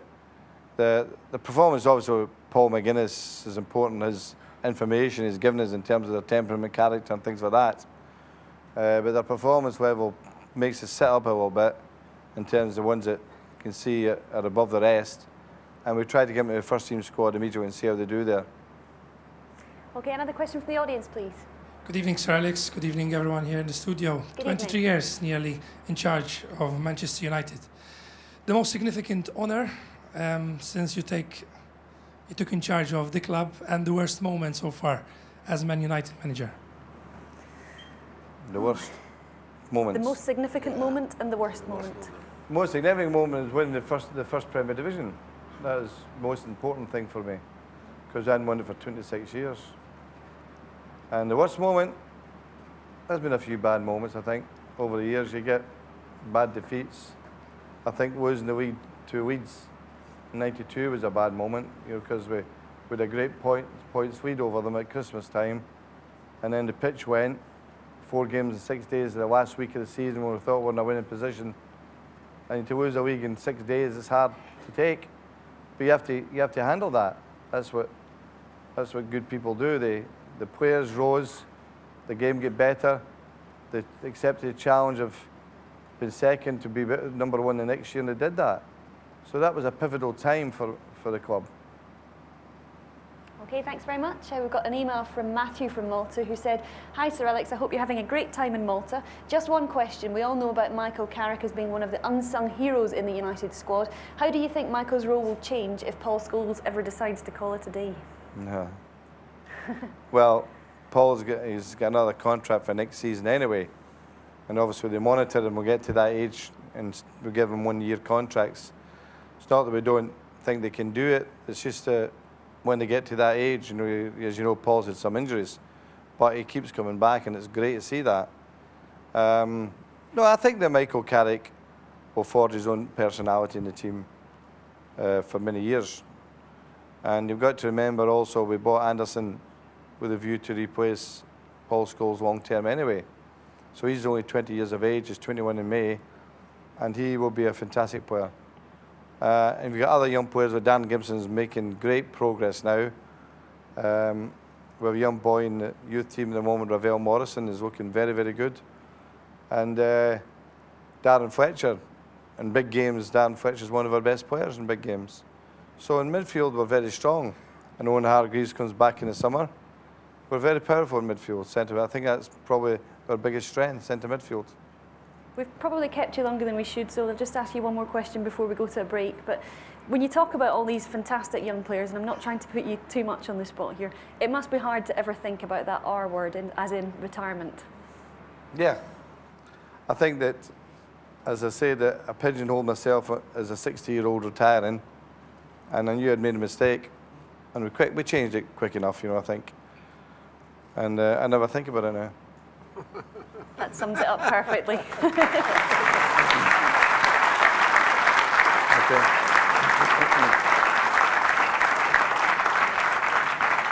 So Alex, thanks very much for your time. Time for us to take a break. We'll see you in a couple of minutes. Okay. When you go to a football match, it never runs like that. It's up, down, down, up, and dear me.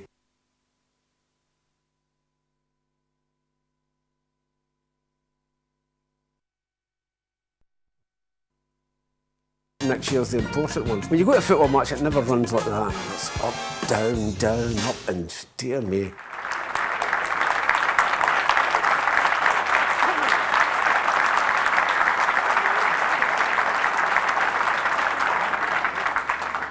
Welcome back to the Paddy Crerand Show live in Malta. We're joined by some new special guests. Uh, Albert Morgan, you may have seen him scoring some fantastic free kicks, and Rennie Meulensteen, the first team coach as well. Albert, you've been training hard, haven't you? Oh, I, yeah. Who knew the body was like that under that jumper, eh? Well, it's a treat, isn't it? Uh, you've been to Malta obviously a, a lot. It's fantastic out here, isn't it? Everybody is absolutely Manchester United crazy. Oh, it's uh, unbelievable how, you know, they're for United over here.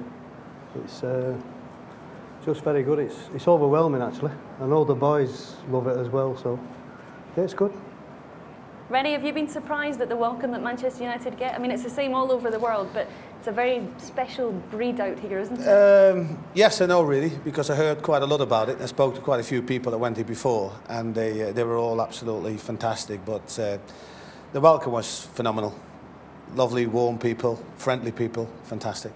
We saw you yesterday on the television. We were also thinking, watching it in the supporters club out here, celebrating alongside the manager. Did that win feel good at Upton Park? Oh yeah, every win feels good, you know, especially when you have tough games like this, and on the back of, um, you know, Liverpool beating Portsmouth uh, at the very death. You know, we, we needed, we, we needed, we knew that we needed a win, so to keep the pressure on, and uh, it was a fantastic moment. Is it a pleasure working with the group of players that Sir Alex has? We just heard how passionate he still is. I feel very privileged, you know, every day to uh, to uh, to have the ability to come into Carrington, which is a fantastic workplace, but then to work with such a talented players and very professional players is is just um, fantastic. People keep reminding me, you know, you must have the best job in the world, and I think I have. The team spirit seems great as well. There's a real mixture of experienced players in there, obviously, but the younger players, everybody just seems to gel really well. Yeah, yeah, it's part of. I think uh, sometimes um, you see that a lot when uh, in clubs when people managers move on and this and the other, and I think it's all part of the the stability and the continuity that the manager has created over years. And it creates a sort of a very fam a family feeling with the people coming in.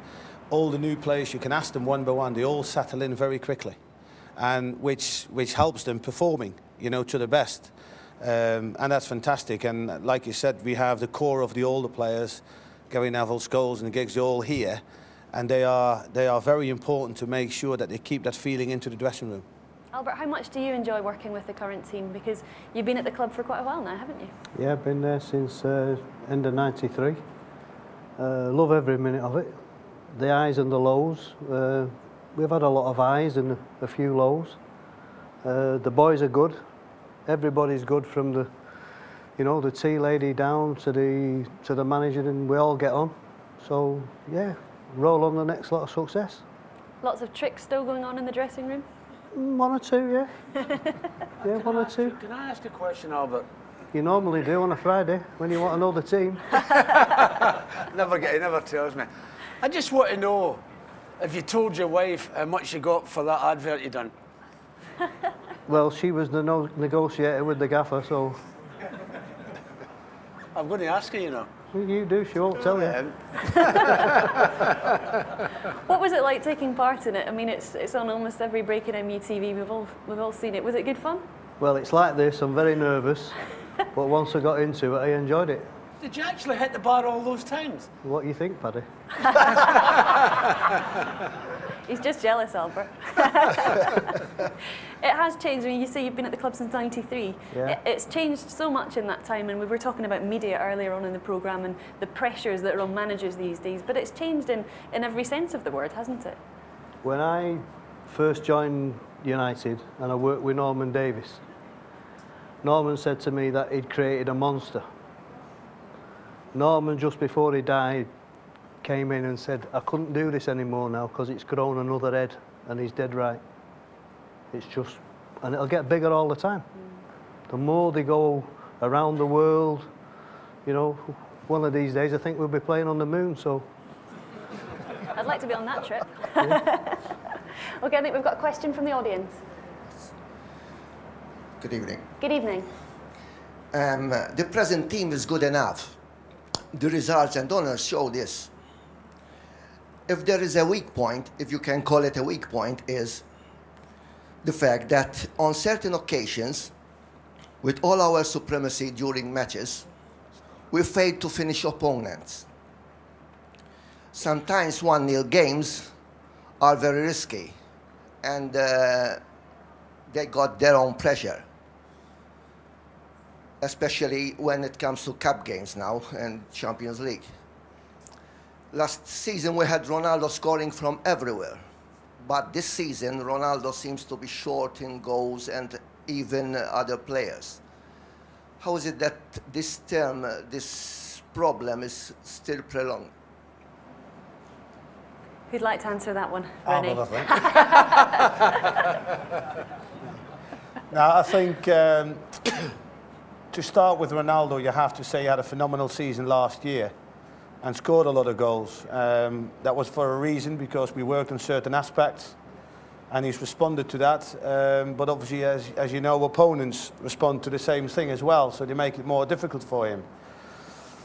Um, yes, the 1 0 games are still risky um, until you hear the final whistle and you got the three points in the bag. And I think winning games 1 0 is a quality that champions have.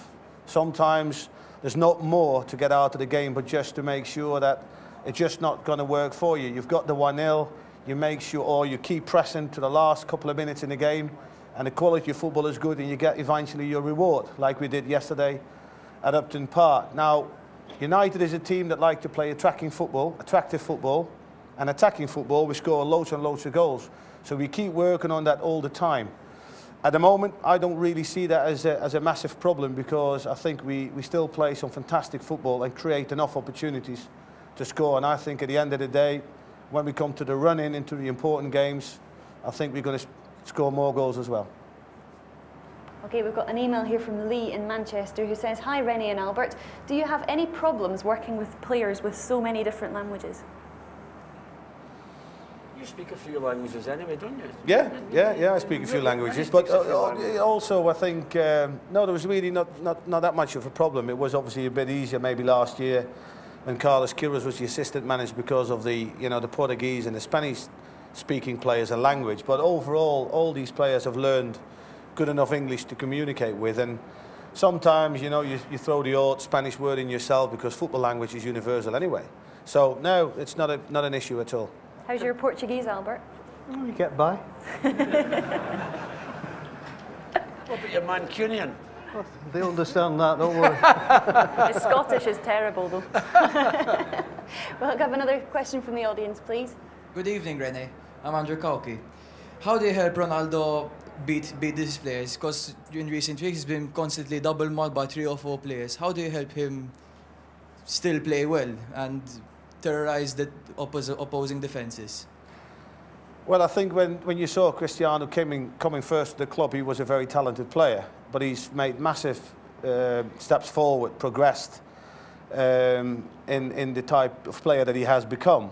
Now again, he needs to take him to another level because, you know, teams make it more difficult for him. So I think the answer is making different decisions, better decisions. It's not always the 1v1 that is the solution at some cases, you know. In some cases it is to link up with the other front players and then run off and run in behind because he's obviously very, very quick.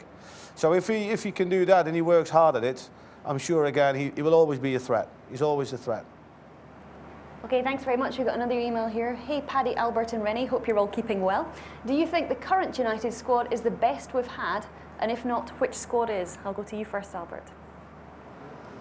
That's a tricky one, that. Al- Albert can go back to the 50s and 60s, by the way. Yeah, I can. I've been Go watching. I've been watching that. United for what since I was six. Well, I, I, I want to know what was your best squad then. Uh, don't forget, I was in the 60s, so we better get a mention somewhere along the way here. or we'll be in trouble. I, mu- I must admit. I must admit, I was excited when they signed you. I tell you, I really For was. how long? When I was a kid. No, you did well. That's great praise indeed, believe me. He was one. Of, you was one of my favourites. I tell you. Was When- that? Yeah, yeah, yeah. You what were not- happened over the years? You were the. yeah. yeah, you were the lawn man. Rennie, what about yourself? What do you think? The, the current squad? Well, I would still have Petty in it by the sounds of it. uh, well, I've just came on really on the on the back end of still where Roy Keane was there, Jaap Stam was there, Ruud van Nistelrooy was there. So really there is, I think, two squads I can choose from really. And they're both obviously very, very, very good. Um, I think what we've, what we've got now is, is definitely special. I, will agree- leave I it to that. that totally. I I leave think- it to that. I, I, I think the squad now is better, yeah.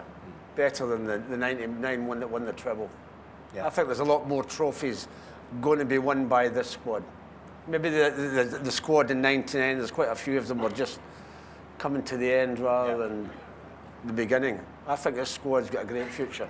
The question is, Great Paddy, are the current squad better than the squad that you played in? Yes.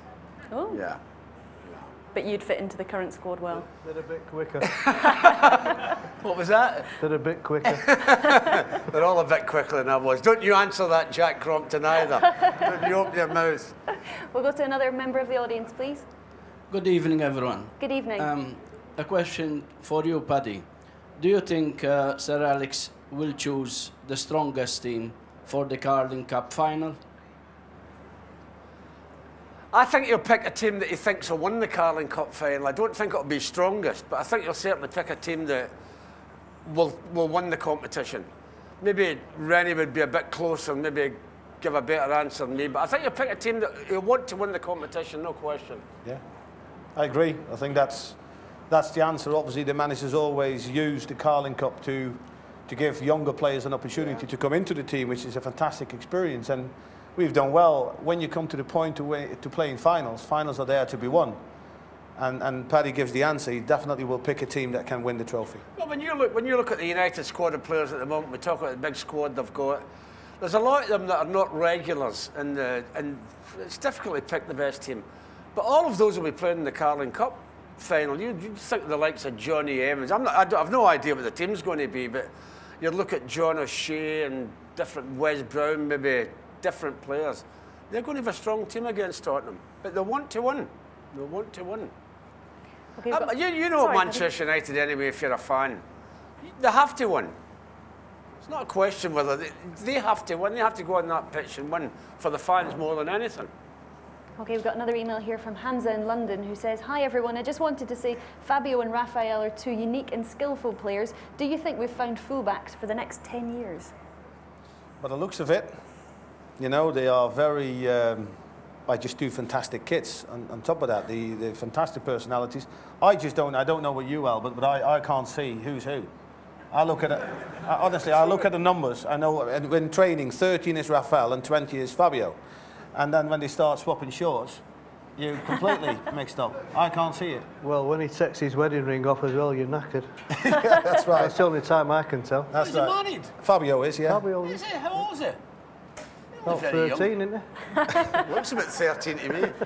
They look so enthusiastic though, Albert, when they're on the pitch. Are they like that in the dressing room as well?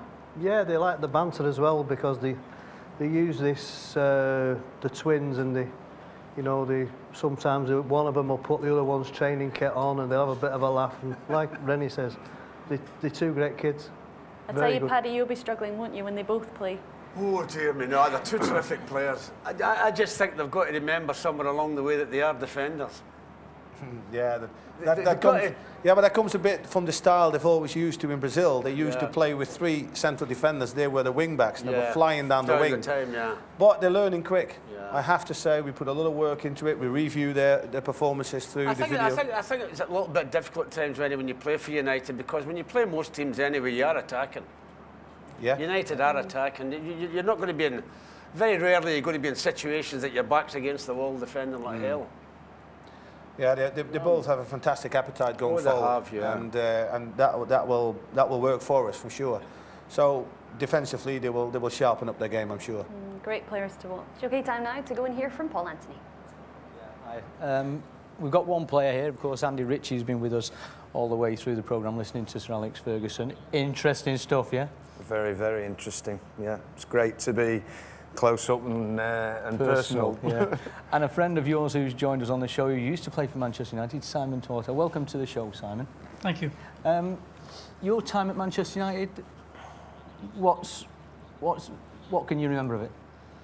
It came about because um, uh, I used to be coached by the founder of this club, the Manchester United Supporters Club, John Calleja, and uh, he was a very good friend of Jack Crompton, and uh, he suggested that they should take a look at me. Mhm. And uh, as usual, Jack was very kind, and uh, in fact, he kept me at his house. I was still 15 or 16, and my old man thought, well, you're going to a faraway country, you know, I want to be sure that you're well looked after. And Jack was kind enough to, to keep me at his house. And um, I went, and uh, I played with Andy and with Mike Duxbury and with uh, a guy called Gary Micklewhite, who had quite a good career. Um, but while I was there, my father phoned me up to tell me that I passed my exams and I could go to university. And because I wasn't good enough, I thought to play for Manchester United. And I think, um, you know, Manchester United is the best club in the world, and you've got to be excellent to play for them. I thought I'd better come back home and study. And What- this is what I did. What were your thoughts about this guy? Oh, we're great friends. We've, uh, he came to my house and uh, ate, ate my mum and dad out of house and home. um, had about six eggs and, uh, and full rashers of bacon, and we, we formed a good good friendship, and uh, and we've we've kept in touch. And um, I mean, he was a good player. He, you know, he was a strong player. Reasonable. Quick. He was Quick, quick, quick, when you were younger. Yeah, And uh, quicker than me. um, But we did have a quite a good team at the time, and Yeah. um, you know when you think that Mike Duxbury played for England, I don't know, 40 times. I think he played. He Mm-hmm. played a lot, um, uh, and he was one of us. You know, sort of. He was a kid who who who. Who, who made a career out of uh, a, a serious attitude. He played. He, he was a serious boy. You could see when he was 15 years old that the boy was. In fact, I understand he, he's a teacher now. Hmm. So um, apart from being involved with the club, you know, so you know when when, when kids are serious and focused and uh, you know they've got the right head on and Paddy said before the parents count for a lot. Um, you know they, they stand the chance of making it. Mm. Um, and this this squad had you know people like Andy, um, uh, Mike Duxbury, good people, well brought up, you know, who could who could really you know um, give something back. Right. As far as you go, Andy, Mm. Albert, he's a bit of a character here at Manchester United. I believe you know a few stories Very about much. Well, Albert used to work with my father a long time ago, but uh, I don't know much stories about him. But you've, you've obviously quiet, had, doesn't? You've obviously had a lot of characters in in your time as the uh, as the the uh, kit man. Are there any little anecdotes that you can tell us about that? Have you had any pranks played on you, or have you got your your, your Well, own back on on some of the players? I've had a few, yeah. Any Uh, that you can tell us about? well, you've had the old cut out your socks a few times and other things, but we're not going into the other things. and, uh, you know, little things that go on. To me, which is very important to me, what goes on in the dressing room stays in the dressing room. And that's, that's always been a policy of mine.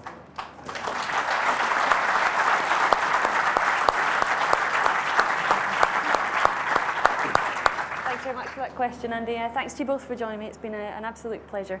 Uh, but it's time for us to take a short break. We'll be back in a couple of minutes. Next year's the important one. When you go to a football match, it never runs like that. It's up, down, down, up, and dear me.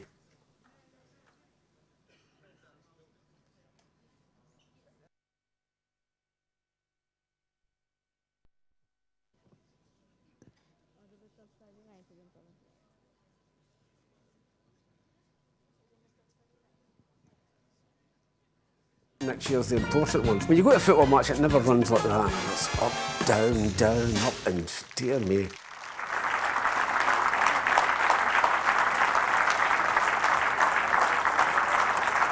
Welcome back to the Paddy Crerand Show live from Malta. Just Paddy and I now. It's been good fun, hasn't it? Manager was smashing, wasn't it? It was superb. He was a very interesting man, actually, to sit down and talk to. And, I mean, that, that, that story told about a minute from the end of the cup final against Arsenal, that was amazing, that, isn't it? Just shows you the thoughts that come into people's minds, well, particularly his mind, in important situations. Mm. How it can change a game. How it can change a game, and by God, how he's done it in the last 20 years. Unbelievable. We've got an email here from uh, Nasser who says, Hi Paddy, it's Nasser from Kuwait. I have a question for you. Who would be your dream team from 2000 to our present squad? Oh, God almighty. I'll tell you, if the manager doesn't know his team. Come on, Andy, give me a hand. You're on your no, own that's, that's one. very difficult. Very difficult in actual. I, I think you'd find it a problem to pick your midfield for a start. Who's better, Brian Robson or Roy Keane? Hmm. That's a question for you straight away. Who would have Roy Keane? Hands up. Who would have Brian Robson? Oh, I tell you, I think there are more Brian I, I, Robsons I out loved there. Roy Keane, but I think I'd take Brian Robson as well. It'd be very, very difficult. Cantona, Giggs, oh, dear me, who would you leave out? That's the problem. You don't want somebody's family sending you threatening letters. Why didn't you pick my son? You're not going to tell us then, What's are that, you? Andy? I'd have Scholes in mind. Oh, Scholes without question, without question. And the manager was asking about, I, I think Michael Carrick's the perfect replacement for Paul Scholes, eventually when Paul does finish. It's the exact same type of player. Okay, time for another question from the audience, please. Okay. My name's Robert Young. I didn't introduce myself first time. Thanks, Robert. But, Paddy, in reading your book, you had the most marvellous accolade, taking knighthoods apart and all these honours. But what a great honour you were given by Duncan Edwards' mother when she said to you, You play like my son did. I, I, I think she met with a drink. Well, it's a marvellous accolade. Well, it was quite funny because after Yeah. the, the European Cup final, what Manchester United hmm. did do, they invited all the parents of the people that died at Munich. And It was a very heart-rending situation to go to the dinner that night. Obviously, they'd organised the dinner. We didn't know we were going to win the European Cup. Thank God we did. Hmm.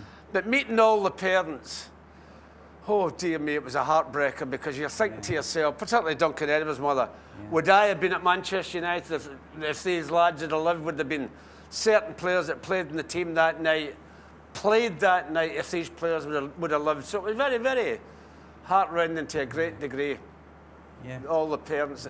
But what a great thought of the club to do that. And they, they also, they got invited to Barcelona and they also got invited to Moscow. So just shows you the standard and the quality of Manchester United. And I meant to say this earlier on about the standard and quality of Manchester United. When you looked at the European Cup final in Moscow and saw the individual from each club that went up to receive the first medal of the, the European Cup, and Bobby Charlton led the Manchester United team up, which was a great honour, I thought, and obviously reflected in 58, and then you had Peter Kenyon going up for Chelsea. That's thought the difference in class between the two clubs stood out that night.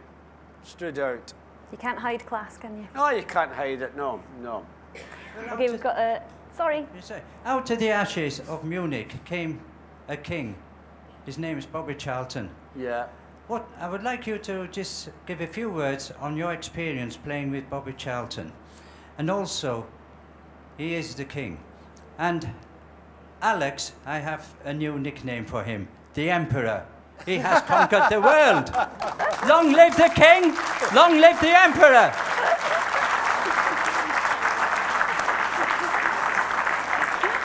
Let, let, let me just, Bobby, Bobby was a great player to play with. Believe me, I played in the middle of the park with Bobby. Bobby sometimes, when he played for England, played in the left wing or played up front. But at Manchester United, I played in the middle of the park with him. And he was great to play with. But the problem we had, we always wanted the ball. And it was a fight between us to see who would get it.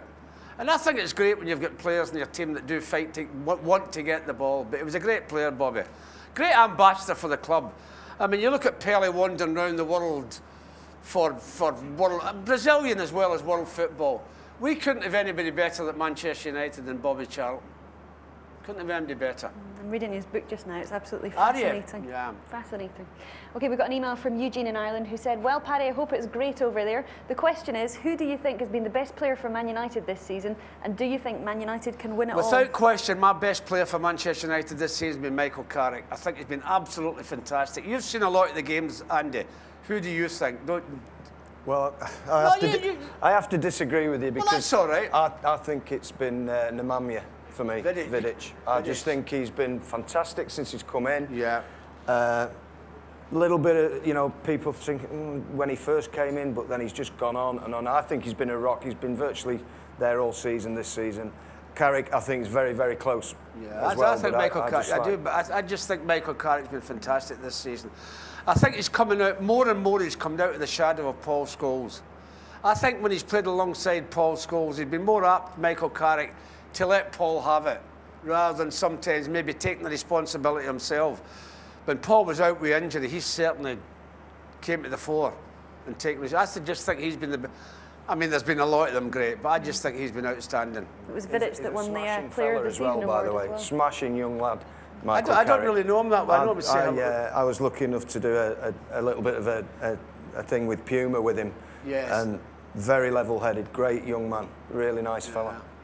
I just think he's a smashing player. But then again, I'm selfish. I always look at midfield players, you know, from a certain aspect. What am I doing looking at centre halves for then? But uh, well, you were kicked by a few. Yeah, in the I was. yeah. I think Nemanja would have kicked me Well, as well. would you play against Vidic? Oh, Would you fancy playing against him? No. no. No, no. Sorry, go on. Won the Player of the Month award as well. So he's doing it Vidic. Okay, back to the audience for another question, please. Good evening, all. Welcome to Malta. Thank you. My name is Charles Polton. Um, I was going to comment to the two gentlemen that we had there, Albert and, and, and the guy next to him, Yeah, René. René. um, regarding Rafael and, um, Fabio. and Fabio. Perhaps one of them dye their hair. At least that way, if they play together, one can dye their hair, and the other that way we'll know who they are. funny, funny enough, I was, I was at... Um, I've got none to dye. To, to, to, to dye. Uh, they, they, they, were, they were at West Ham on, on Sunday, and after the game, I'm in the outside the dressing room, and the two of them come out, and honestly, God, you wouldn't, you couldn't tell the difference. You could not, and both, uh, unfortunately, wearing the same hairstyle. Exactly. I mean, I'm sure you'd love to have that hairstyle. so, so, so, so, would I, by the way. I don't mean anything in that. and another thing, Paddy. Eric Cantona was a great player for Manchester United. Fantastic. Do you think, and I believe he will eventually, Berbatov can have the same impact? Yes, I think I think he's. I mean, the thing about Berbatov, he looks a lazy player, but I, he's got so much skill. It's incredible, and I think that makes him look so lazy. He's got a brain to go with it. He's got a brain. He's got a I, brain, I, I just think he'll only get better and better the more he plays with Manchester United. Thank you. Thank Thanks you. very much for your question. I've got, uh, thank you. Got another email question from Abdullah from London who says, Do you think Rodrigo Possebon will have a successful future at Manchester United? I mean, the manager mentioned all the younger players. Possebon's another Brazilian player. Not a problem for him either. The one thing you always find about, about Brazilian players anyway, the ball's not a problem to them. That's not a problem to them whatsoever. He's got a great talent and got a great chance as well. I did an interview with him on He- he- Friday, actually. Well, he, he, he could feature in the, in the Carling Cup. Yeah. You know, Doug, he could feature very easily in the Carling Cup. It was interesting on Friday. He was saying that sometimes people talk about Brazilians having to get used to the weather, etc. In Manchester, we all have to get used to the weather, don't we? But he was saying if you want to achieve a goal of success at Manchester United, you just get on with it, and it's nice to hear that attitude, isn't it? I remember when Cristiano Ronaldo wasn't very long in Manchester. We were talking one day, and he- I, I said, "Do you enjoy Manchester?" He said, "I love it. I love the players I'm playing, but I don't like the weather." I said, "I've been living here for 40 odd years. I don't like the weather either. but what can I do about it?" But you're at a great football club. Indeed.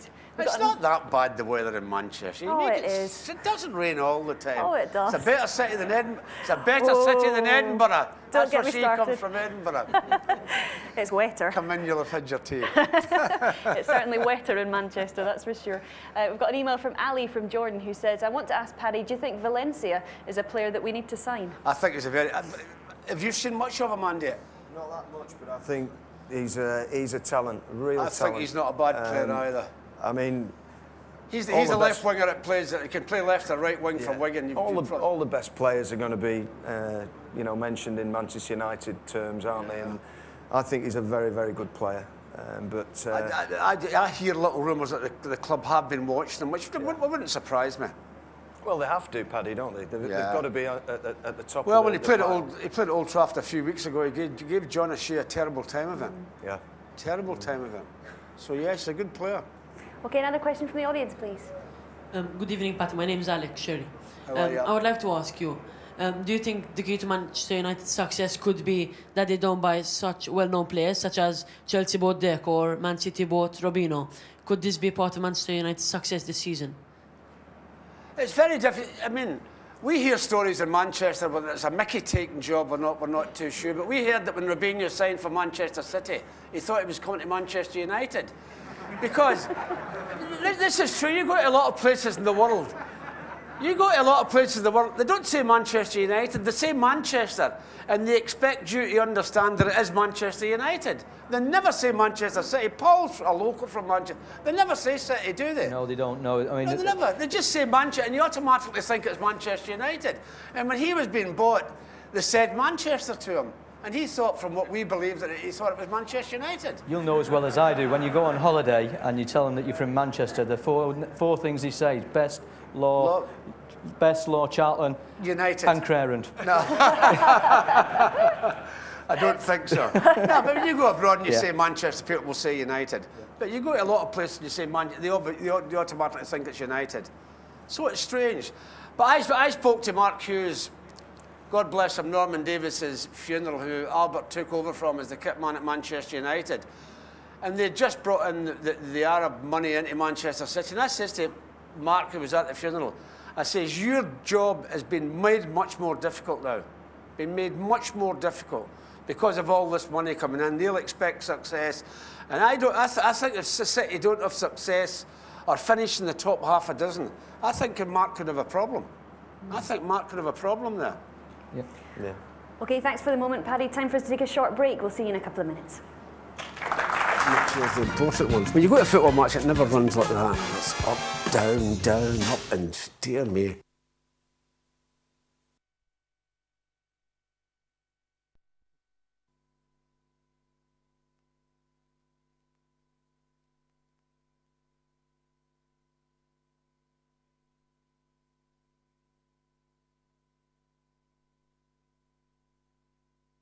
Next year's the important ones. When you go to a football match, it never runs like that. It's up, down, down, up, and dear me.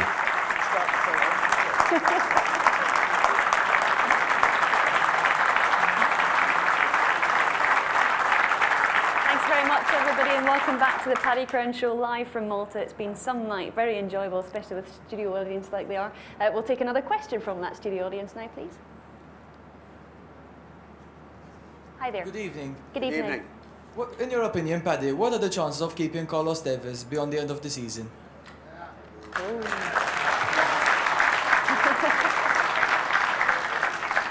I'm going to throw a beautiful. I'm going to throw a beautiful question at you. Why didn't you ask the manager? what are you asking me for? I think he's too good a player to let go.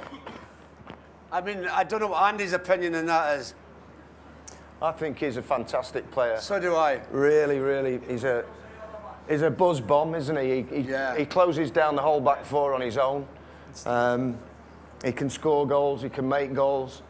Um, and again, you would have to ask the manager. Uh, I- I- nobody knows. But the- Uh, the man- I, I would love to see him stay. Well, the manager has stated on a lot of occasions that he wants him to stay. But then you've got a situation, and I don't know, if I think coming back from one of the games in London, and all the fans are on the train when you're coming back from London, and they're, and they're asking me, what's wrong with Tevez? Why isn't Tevez pay, playing more often? You'd be amazed at the number of games he's played this year. And he, played, he played practically more than anybody else has mm. played. And they're saying to me, well, why isn't he not in the team? I said, all right then, you've got the choice. Berbatov, Rooney and Tevez, who do you pick? You can only pick two of them. And then they all start struggling then. But I don't have that problem, thank God. No. The manager's got that problem. But I wouldn't let him go. I wouldn't let him go. But that's not up to me to make that decision. We agree. Another question, please. Good evening. Welcome to Malta. Thank Thank you. you. Uh, just one simple question. I've, I've been reading in the papers that uh, Valencia from uh, Wigan could Yeah. be joining Manchester United this summer. Now, okay, I think it's not a difficult task to do, but who will he play for? There's such great wingers with Manchester United. I don't know. Maybe you can help me out. Hmm. Honestly, I can't. I can't help you. I just think the manager's getting a squad of players together, together again. There's great competition there. If, if he does sign, Nani's under pressure. He's maybe looking at Ryan Giggs' age, all that sort of thing, because the manager, I would think, would be looking to the future, not the present day. That's why, oh, dear me, I just think putting players, pressure on players to perform. I think there's nothing worse than it. Andy would probably agree with me. You're on that pitch and you're playing for Manchester United, and you look at the bench and you think to yourself, if I don't produce, I've got a problem. I've got a problem with the people on the bench. So I think the manager's putting pressure on players all the time to do better. But difficult question. difficult question. So you've been put on the spot tonight. I've been haven't put in the spot, but I mean, why didn't they ask the blooming manager who was here? We've got an email from Rob who says, uh, lifelong fan, I'd like to ask both Paddy and Andy who are the best players they've played with, respectively. Whoa. Um, Manchester United, I mean, I've been lucky. I had oh, so many good players that I played with. Uh, Ray Wilkins was one of them. I, I, m- m- loads of admiration for Ray when he was at, at Manchester United. There were so many, Stevie Coppell, and if I tell you about the, the, the centre forwards that were there that I learnt so much off as well, there was uh, Stuart Pearson and Jimmy Greenhoff, who were my peers when I was there, and I, I learnt so much off of those two, just watching and training with them. And uh, I also had the uh, good fortune to play with Mark Lawrenson and when I was at Brighton, and he was a fantastic player as well. Absolutely could defend, could play midfield, could score goals. It's just so many, just so many. I, I, it's a quandary for everybody, actually. But let me tell you a story that happened one night in Manchester. After, I'd long finished playing, and Matt Busby, God bless him, was still alive. And I'm out with a few friends at a table having a meal. And he sat over there another, with, a few of his friends. So he comes over, and we're talking about different things. Particularly, I can't remember who United played that, and we're talking about different things. And he loved Scotch Black Label whiskey. So I drink, I couldn't drink his whiskey, but he loved a Scotch Black Label. And he was about 82, 83 years of age at the time. And I said to him, do, do you fancy a, a Scotch boss? And he went, um, well, the doctors told me I shouldn't be drinking Scotch. And I says to him, how old are you? He says, I'm 82 going on 83. I says, what the hell difference is it going to make now, a bloody Scotch? I says, have a Scotch. He says, you're right, you're right. And I then asked him a question. I says to him, who was the best player you ever had? Without even a moment's hesitation. Do you know who he said? Denis Law. That's what he said, Denis Law. Yeah, so, I would think when you, when you talk about the greatest players that ever played for Manchester United, Denis Law is certainly one of them. Okay, we've got another email here from Ray from Malta. It says, but uh, I live in Denton in Manchester. Can you ask Paddy if we're going to do the treble this year? And I'd also like to say hello to the Maltese people and well done for doing the programme in Malta. Thank you. and are we going to win the treble, Paddy? It, it, it's a question you're asking. And if you're a fanatical supporter, you say, yeah, we're going to win everything, it's easy. It's not as easy as that. To win trophies, particularly lots of trophies, you need a strong squad of players. We've got that strong squad of players. Can they stay fit for the rest of the season? That's the problem. I think the manager reiterated that as well. If they can stay fit, they've got a great chance. Okay, another question from the audience, please. Good evening, Mandy. Good evening. Paddy. Hi. Good evening. Simon Hansford. here. Second best again on Monday. well, I could have said it the other way around as well. no, no, you, you, you've made the right choice. Uh, during your walk with uh, Sir Alex this morning, this morning, um, did you ask him whether United would be playing in Malta in August? No, I didn't actually, no. Why, why are they? Yeah, I'm asking you. It'd be nice, wouldn't it, to come back? I, I heard little rumours there was a possibility of it because of the 50th anniversary. I, I, I know United are going to um, they're going to the far-flung reaches of China and Indonesia. What else? Malaysia, I think, Paul, as well. Malaysia. And I think the situation is because of the World Cup, because of the World Cup being, it's not the World Cup, the, the Premier League starting and the World Cup, the Premier League might be starting earlier. They haven't made a decision yet. If they make a decision on that, then they could well be coming to Malta for a game. But if the Premier League starts early, they may not be able to fit it in because of the tour. But nothing's been confirmed yet. Yeah. Such a short summer, though, these days, isn't it, for the players? As it is, yeah. Mm, certainly is. Okay, another question, please. Um, George again. Um, I'm going to ask you about Nani. Um, last year he was very good. This year I think he's uh, below par. What is the reason for it? For example, when he should uh, pass the ball, he keeps dribbling. He passes one player, tries two, and then he loses the ball. And the other players will uh, get angry. Why is it that he hasn't improved? I, I think sometimes when you, when you come to a football club, you start off great, everything's perfect. Then the second season gets a little bit harder because a lot of people know you better. I think next season is a, is a very important season for him. I think, he's, I think he started to do well again in the Carling Cup games that he played, and I thought he played smashing. I think he's only a young kid yet, and you, you can have those. Did you have, we all had them, Andy, didn't we? I can't remember mine, but you'd remember because you were younger than me. But you have that spell, don't you, where you... I think, I think you do. That young players always have fits and spurts, and I think you've just got to be patient with them. Yeah. Um, you never know. He might feel a little bit of pressure from the other winger that's been rather good for Manchester United. He might feel under his shadow and Yeah, feel he's got to put a little bit more pressure on himself to perform, which sometimes cannot be the best thing for you. Just go out there, relax, and play your, your normal game. I'm sure, as Paddy said, I think he'll probably come back next season. He is a talent. And, uh, and you know, be, uh, be better for it. It's interesting to hear the manager talking about him, wasn't it? Saying that he was one of the players that he wanted to pick because he can change a game and he can score a goal from anywhere. go, well, I'm, I'm at the game at West Ham yesterday, and you're looking at the game and you're thinking, is this game going to finish nothing each? And I'm saying to myself, well, no, it we've got special players on the pitch. United have always had special players down through their history that can do something that nobody else can do, and Ryan Giggs done it yesterday. You're expecting it from him. It could be Ronaldo, it could be somebody else, but Giggs had done it yesterday. That little bit of special. And I think that's what makes United special because, as I said, down through the years, they've always had players that can do something that other players can't. I mean, I look at Liverpool.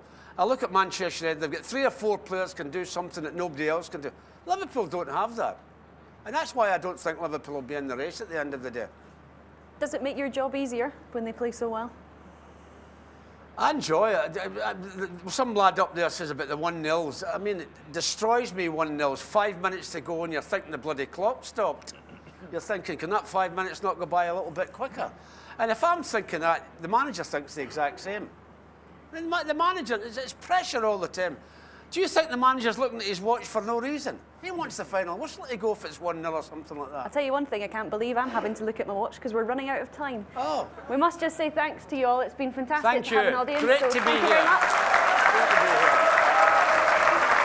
My thanks to Andy and Paul as well.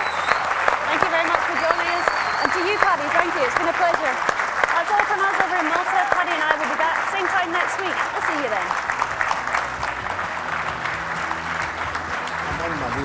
Real gripey mood at the moment, and that was a big, big setback for United. I'd be delighted to go to Chelsea three points ahead. Sometimes you'll give them, sometimes you don't. I was only kidding them on. Football plays such a big part in people's lives. Everybody thinks I'm, I look through tinted glasses. Oh, what a relief. Paul Scholes and Ryan Giggs. Closer you get to it, the more you want it. When Gary Neville done that to the Liverpool fans, that's out the window now. Next year's the important one. When you go to a football match, it never runs like that. It's up, down, down, up, and dear me.